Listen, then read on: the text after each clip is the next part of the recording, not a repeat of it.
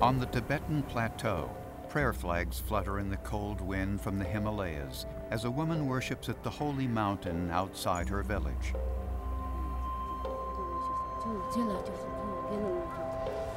Her name is Droma, and she is praying for the health of her elderly parents.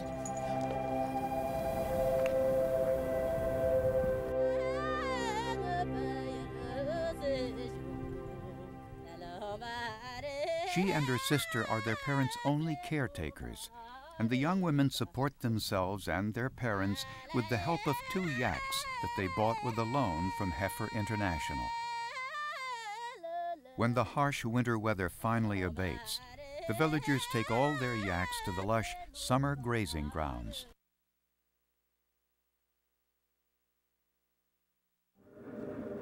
What you're looking at are pictures from Sharon's advanced magnetic resonance imager, a machine with considerable advantages over standard MRIs. In seconds, the Radex reader can zero in on one image among thousands. MRI of the head. Sharon Hospital has five complete operating rooms. You're watching Dr. Joseph Hayek performing arthroscopic knee surgery. Joe Hayek came to Sharon from Harvard Medical School, and he's been with the hospital for well over 20 years as are most of Sharon Hospital's physicians. He's board certified in his specialty. There aren't many hospitals anywhere, much less in a rural setting, that can make that claim. Sharon is a sophisticated but highly personal hospital. Its extended family of healthcare practitioners work together to assure the best in care. Nothing gets lost in the maze of a big city bureaucracy. Lab results, 15 minutes. A consultation between several specialists, right now rehabilitation, testing, counseling, just down the hall.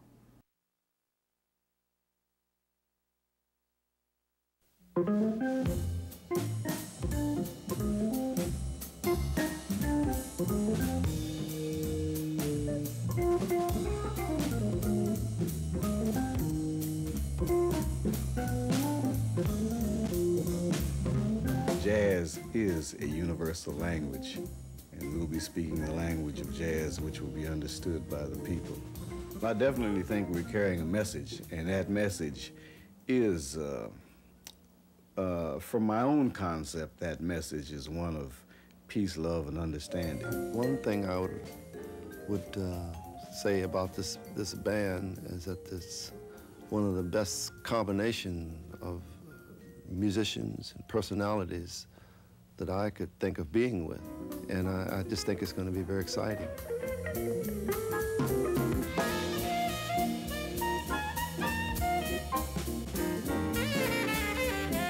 Playing in Europe, man, is, is, the most exciting thing in the world. Yeah, I've been playing Europe maybe 20 years. Every time it's exciting going over there. It's very important for us to play over there, you know. And the, the gentlemen before us, you know, the players before us, you know, like Illinois Jacquet, you know, the older players, you know, they have set, you know, the path for us.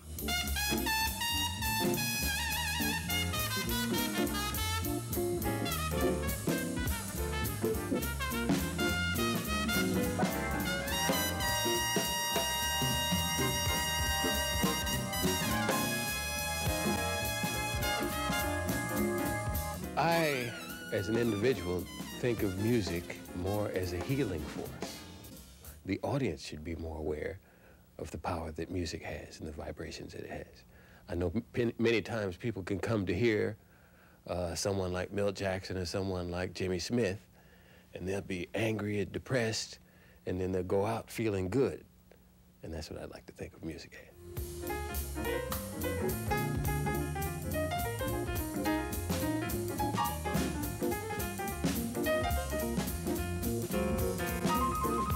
Message of the music that we play is a celebration of life in a joyful way. It's a positive thing. It's meant to bring people together, not pull them apart. That's the great thing about jazz, and especially this kind of jazz because it's, it's a happy thing. It's about swinging, it's about being honest, and it's about being as earthy as you can be as a person.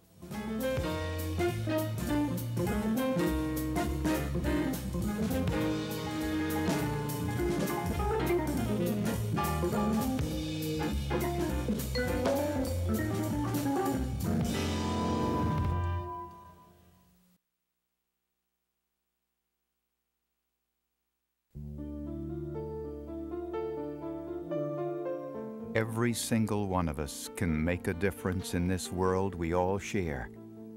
With our dollars, we can all help the less fortunate in the developing world. For nearly half a century, Global Impact, formerly International Service Agencies, has represented 50 of the most effective international relief agencies, helping to ensure that their money goes where it is most needed.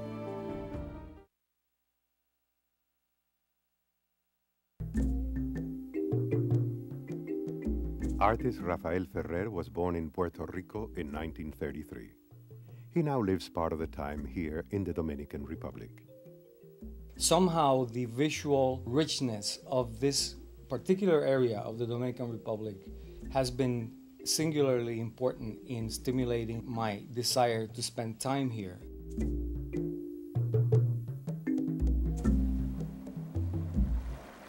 Ferrer and his wife Francoise live half a year in the Dominican Republic, where he finds inspiration quite different than he does in Philadelphia, their other home. Yet it isn't the obvious imagery of the tropics that motivates him.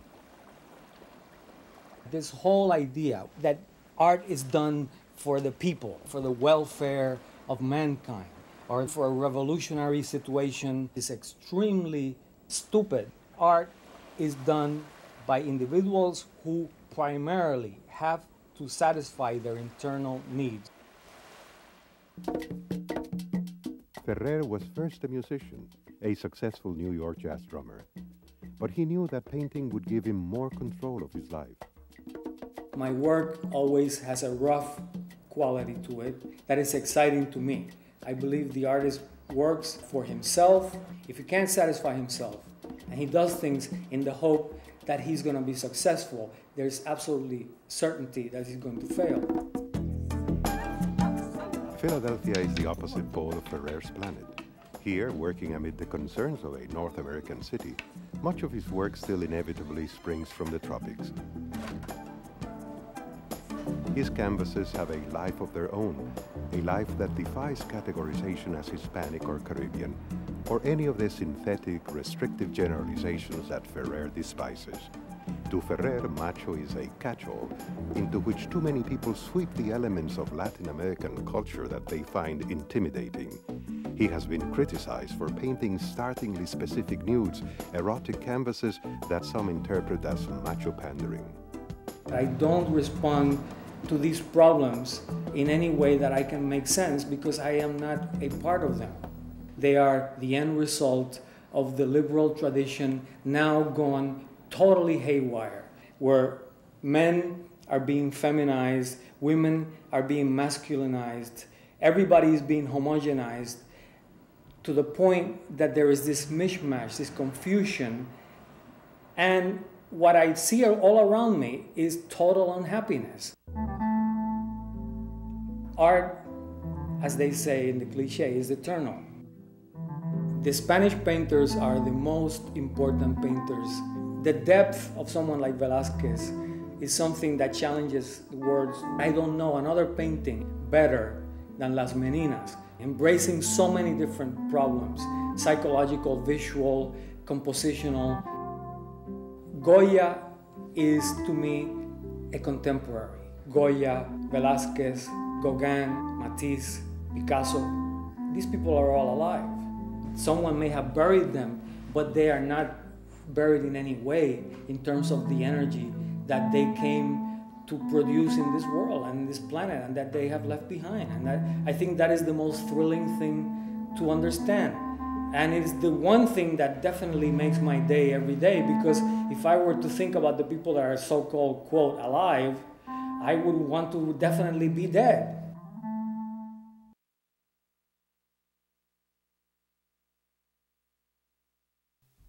Can the actions of one person initiate worldwide changes for good or ill? Not in isolation, but repeated again and again, over and over, of course they can. Whether the effect damages our planet or repairs it. We're going to show you how this happens and why, and how, with a little help, ordinary people can ensure that these changes are all for the better.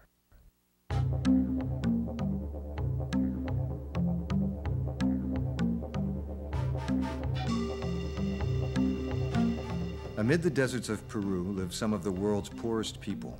For them, life is an exercise in futility. These people can't afford to live anywhere but among the dunes, eking out a living as best they can. But it is hard. So hard that they have named their village Mala Vida, bad life.